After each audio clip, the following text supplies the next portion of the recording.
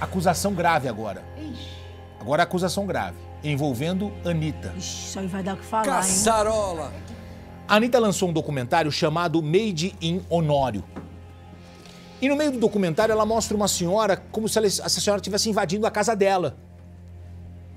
Só que ela é uma fã da Anitta e no filme ela aparece como se ela estivesse tentando entrar na casa sem ser convidada. Essa senhora se chama Maria Ilza. E ela diz que isso é mentira. Ela diz que ela é uma fã e ela foi convidada. Ela estava lá na casa da, da, da Anitta como convidada. E essa senhora, ela diz que foi ridicularizada porque as pessoas assistiram o documentário e depois foram tirar da risada da cara dela.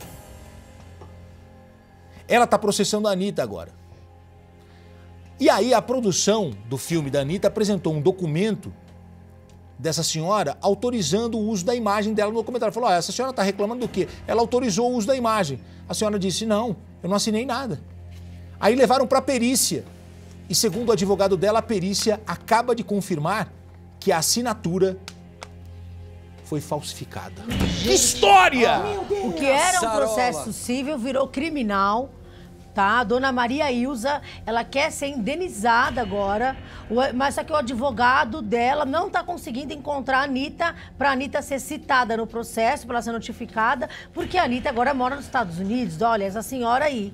O advogado da dona Maria diz que ela apareceu no filme, no documentário da Anitta, sem autorização. E a família se revoltou porque essa senhora foi ridicularizada como se ela fosse uma invasora.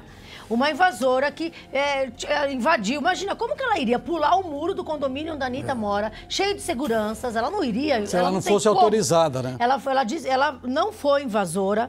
E o advogado dela, da senhora, contratou um perito que analisou a assinatura da dona Maria Ilza e foi comprovado que houve uma fraude.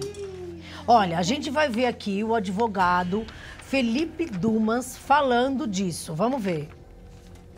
Boa tarde, Fabíola. Boa tarde, Gotino. É, essa história começou de uma maneira muito curiosa. A senhora Ilza estava internada no hospital com Covid e as pessoas começaram a entrar no quarto dela para tirar selfies, tirar fotos com ela. Posteriormente, a família foi descobrir que havia um documentário né, na- no streaming, é, Anitta Made in Honório, do qual ela aparecia invadindo a casa de Anitta. Ela havia levado um presente para Anitta é, e foi confundida com a equipe de prova do vestuário.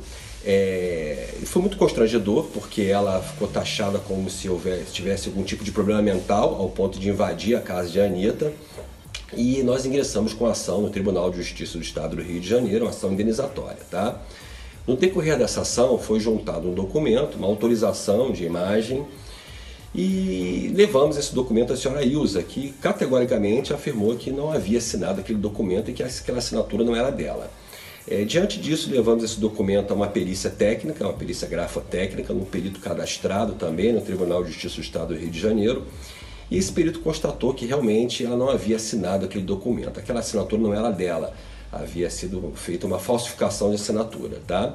Por conta disso foi aberto um incidente de falsidade e hoje o processo ele encontra é, é, encontra-se né, verificando se há algum ilícito penal. Ele acabou ramificando, né, acabou evoluindo para um processo penal onde será, serão verificadas as responsabilidades de uma eventual falsificação de assinatura da senhora Ilza, tá?